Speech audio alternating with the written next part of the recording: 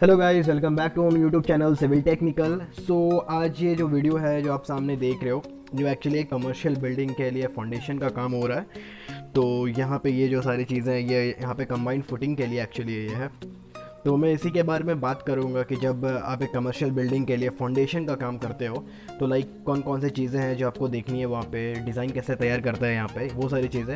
And कोशिश करूँगा कि ये जो सारा काम यहाँ पे होने वाला है तो ए से लेकर जेड तक सारी चीज़ें मैं पार्ट बाई पार्ट इसको आपको बताता चला जाऊँ फाउंडेशन कैसे हो रहा है फाउंडेशन के लिए फिर जो आपका जो इसका बी तैयार होगा, उसका जाली कैसे बेचाया जा रहा है, उसका जो हम लोग यहाँ पे स्टील यूज़ करने वाले हैं। क्या यूज़ करने वाले हैं स्पेसिंग कितना है, ये सारी चीज़ें। या फिर जो फाउंडेशन के लिए जो हम लोग यहाँ पे कॉलम प्रोवाइड करने वाला है तो वो कॉलम क्या है, उसका डायमेंशन क्या है, ठीक है? ये सारी चीज़ें मैं कोशिश करूँगा कि ये पूरा एक सेशन लेकर आऊँ और इसमें पार्ट बाई पार्ट में सब सारी चीज़ें आपको बताऊँगा। तो वीडियो में अभी इसमें भी कुछ चीज़ें आपको भी बताने वाला हूँ तो मैं वीडियो मेन टॉपिक पे आऊँ, उससे पहले प्लीज़ आपसे रिक्वेस्ट है, अगर आप हमारे चैनल पे स्टिल अभी नए हो तो प्लीज़ यार चैनल को सब्सक्राइब करो। और बेल आइकन को प्लीज़ प्रेस करो इससे आपको हमारे लेटेस्ट अपडेट सबसे पहले मिलते रहेंगे। सो so, जब आप फाउंडेशन का काम करना शुरू करते हो मतलब जब स्केवेशन जब होता है तो स्केवेशन से पहले सबसे पहले आपको क्या करना होता है कि जो आपका डिज़ाइन है उस डिज़ाइन के अकॉर्डिंग आपको लेआउट तैयार करनी होती है। जैसे यहाँ पे आप जो थ्रेड देख रहे हो ये लेआउट के लिए हमने किया था। सबसे पहले लेआउट कर लिया गया। लेआउट करने के बाद फिर जो आपका डेप्थ है लाइक यहाँ पे डेप्थ है आठ फिट तो जो आपका आउटफिट फिट जो डेप्थ होगा, फिर उस डेप्थ के लेआउट के अकॉर्डिंग ही फिर आपका मार्किंग हो जाएगा। ठीक है मार्किंग करने के बाद फिर उसका एक्सकेवेशन प्रोसेस शुरू हो जाता है। आप मैनुअली भी करते हैं, बहुत ज़्यादा डेप्थ में जाना है तो फिर जैसे भी बेटर होता है। अगर आपका रेसिडेंशियल बिल्डिंग है तो मैनुअली हो जाएगा, क्योंकि वहाँ पे चार फिट पाँच फिट के हिसाब से होता है। चार फिट डेप्थ भी रहता है। तो चार फिट डेप्थ अगर है तो मैनुअली करने में कोई प्रॉब्लम नहीं है। बट अगर उससे ज़्यादा हो जाता है और अगर आपका फिर अगर आपका विथ जो है, वो भी अगर पाँच फिट छः फिट है तो बेटर होता है कि फिर आप वहाँ पर जैसे से करा लो। टाइम बहुत बचता है उससे। आपका फास्ट हो जाता है काम। तो यहाँ पे आठ फीट है यहाँ पे जो स्केवेशन का वर्क हुआ था, वो आपका हम लोग ने जैसे से कराया था। और फिर, फ़िलहाल अभी यहाँ पे ये स्केवेशन प्रोसेस ऑलमोस्ट कंप्लीट हो गया, सारा कंप्लीट हो गया। और इसके नीचे में जो हमारा बेस ऑफ़ द फुटिंग के लिए जो हम स्टील वहाँ पे बिछाते हैं, ये हमने यहाँ पे स्टील बिछाई हुई है, ठीक है?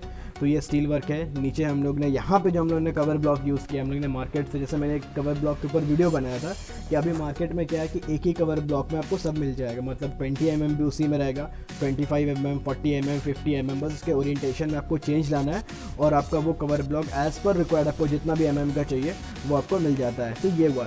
बट जब इसका वेशन जब आप कंप्लीट करते हो तो ये ध्यान देना बहुत ज़रूरी हो जाता है कि आपका इसका वेशन जो डेप्थ है, वो डेप्थ परफेक्टली हुआ या नहीं हुआ है। दूसरी चीज़ आपको ये याद रखना है कि जब आप स्केवेशन कंप्लीट करोगे तो ड्रेसिंग करना मैनुअली ड्रेसिंग करना बहुत ज़रूरी रहता है।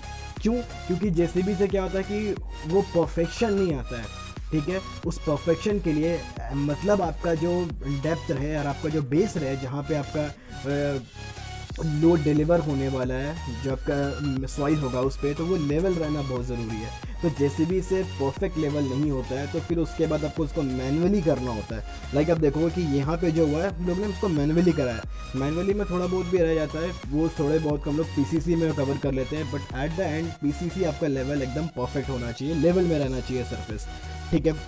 तो जब भी आप देखो प्रॉब्लम क्या होता है ना कि जब आप एक रेसिडेंशियल बिल्डिंग बनाते हो या कोई कॉन्ट्रैक्टर काम कर रहा है तो अब कॉन्ट्रैक्टर क्या है कि वहाँ पे बेसिक थम रो या फिर अपना साइड एक्सपीरियंस के हिसाब से भी काम करा सकता है, कोई प्रॉब्लम नहीं है, ठीक है? क्योंकि रेसिडेंशियल बिल्डिंग में बहुत सारी चीज़ें लग ऑलमोस्ट कॉमन रहती है। लोड फैक्टर्स हो लाइव लोड हो डेड लोड हो, जो भी चाहे सारी चीज़ें होती हो तो उनको एनालाइज करना on the basis of thumb rule वो काफ़ी इजी होता है और बहुत हद तक चल जाता है, ठीक है? लेकिन जब आप एक कमर्शियल बिल्डिंग के तरफ़ जाते हो रेसिडेंशियल को छोड़कर, तब वहाँ पे जो भी सारी चीज़ें होंगे, वो लोड एनालिसिस किए बिना नहीं कर सकते हो आप। और अगर कर, करते हो तो आप समझो कि बहुत बड़ी मिस्टेक कर रहे हो। तो जो सारी चीज़ें इंक्लूडिंग आपकी पीसीसी की रेशियो भी आपको उसी के हिसाब से करनी होगी। ठीक है? लोड फैक्टर को एनालाइज करके क्या लोड है आपका? लाइव लोड में जो आपका फिक्स लाइव लोड भी मैंने आपको बताया, दो तरीके के टाइप्स दो टाइप होते हैं। एक फिक्स्ड होता है, एक नॉन फिक्स्ड होता है। तो फिक्स्ड कितना है नॉन फिक्स कितना है, क्या वेरिएशन हो रहा है? और आपका जो कमर्शियल बिल्डिंग है, वो किस टाइप का कमर्शियल बिल्डिंग है? ये सारी चीज़ें हमको मतलब कहने का ये मतलब है कि लोड एनालिसिस करने के बाद ही आप एक एक चीज़ मतलब एक छोटा स्टेप भी जो आपको लेना है, वो भी आपको लोड एनालिसिस करने के बाद ही लेना है। जब आप आप कमर्शियल बिल्डिंग को डिज़ाइन कर रहे हो। ठीक है। सो so, आज का जो वीडियो है वो सिर्फ़ मैं पीसीसी पे बेस्ड रखने वाला हूँ। मैंने थोड़ा बहुत फाउंडेशन के बारे में बताया डेप्थ वगैरह के बारे में बट इसको मैं और अच्छे से एक्सप्लेन करूँगा नेक्स्ट वीडियो में। नेक्स्ट वीडियो में स्टील के ऊपर बात करूँगा कॉलम डिज़ाइन के ऊपर मैं बात करने वाला हूँ। प्लस जो आपका फुटिंग में जो मैच बेच रहा है, उसके बारे में बात करूँगा। बी हो गया या फिर उसकी डिटेलिंग क्या है।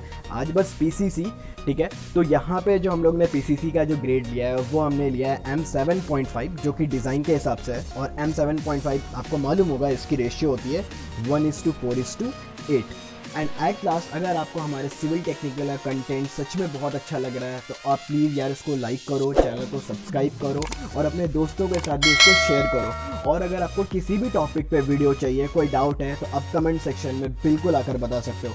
Otherwise thank you so much जो आपने अभी तक मुझे जिस तरीके से सपोर्ट किया है। थैंक